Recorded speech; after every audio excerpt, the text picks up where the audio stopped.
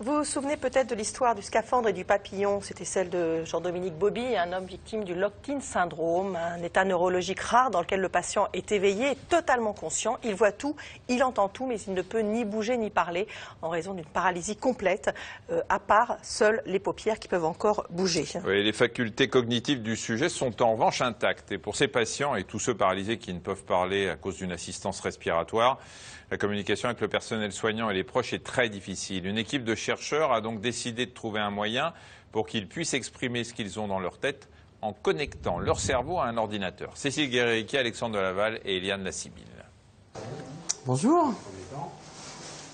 Comment ça va ce matin? Ça s'améliore un petit peu là? C'est toujours difficile, vous restez toujours un petit peu embêté. D'accord. Impossible pour cette patiente de répondre simplement aux questions de son médecin.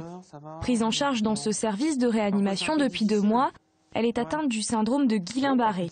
Elle souffre d'une paralysie qui l'empêche de respirer seule et d'écrire.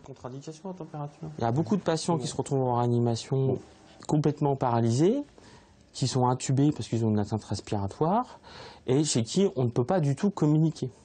Et même pour des besoins basiques, euh, j'ai faim, j'ai mal, j'ai soif, euh, c'est parfois très difficile de savoir ce qu'ils ont. Bon, bah, très bien. Dans 5% des cas, avec des patients trop lourdement atteints, la communication est même pratiquement impossible.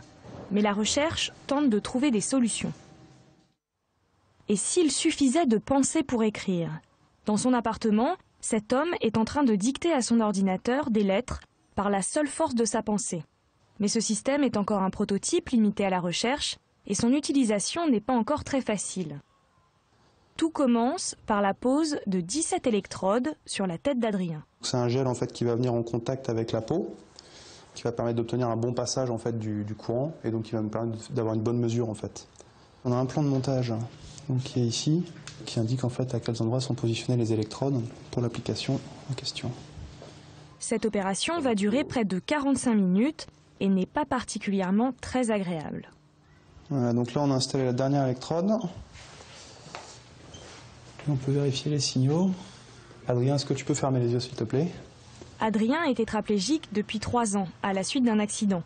Il parle sans la moindre difficulté et participe à ce programme en tant que volontaire. Exactement, Je suis tétraplégique, je n'ai pas l'usage de mes mains et je suis passé par une phase de réanimation pendant quelques mois euh, durant laquelle, à cause d'une trachéotomie, je n'avais pas l'usage de ma voix.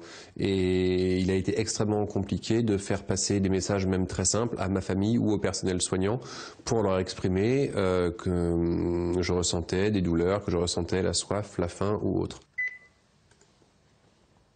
C'est toi qui choisis les lettres à appeler. D'accord. Pour faire deviner une lettre à l'ordinateur, Adrien doit fixer la lettre de son choix. À chaque fois que cette lettre s'allume sur l'écran, son cerveau réagit. L'opération est répétée plusieurs fois pour que l'ordinateur interprète ce signal et sélectionne la bonne lettre.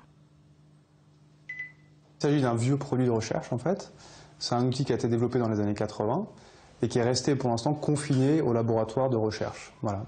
Ce qu'on va essayer de faire, c'est d'avoir un système qui, peut être installé, on va dire, en moins de 10 minutes. Donc c'est le maximum, on va dire, le temps qui peut pouvoir être utilisé par, par exemple, une infirmière de soins intensifs pour utiliser le système. Euh, et ensuite, en termes de performance, on va essayer d'être euh, aussi bon que les aides techniques euh, qui existent aujourd'hui.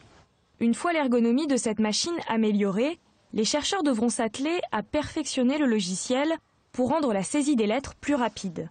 Car pour l'instant, il faut plus d'une minute pour saisir deux caractères. Mais cette machine n'en est qu'à ses débuts et ce système ouvre de nombreuses perspectives. Si je peux contrôler une télévision, un ordinateur, si je peux allumer ma lumière, si je peux ouvrir ma porte d'entrée, un interphone, si je peux passer un coup de fil d'urgence à quelqu'un euh, grâce à ce système, euh, ça pourrait être une réelle avancée et ça pourrait être utile à beaucoup de monde, à commencer par moi bien sûr. Un casque spécialement conçu par cette équipe de chercheurs devrait être finalisé et testé par des volontaires avant la fin de cette année.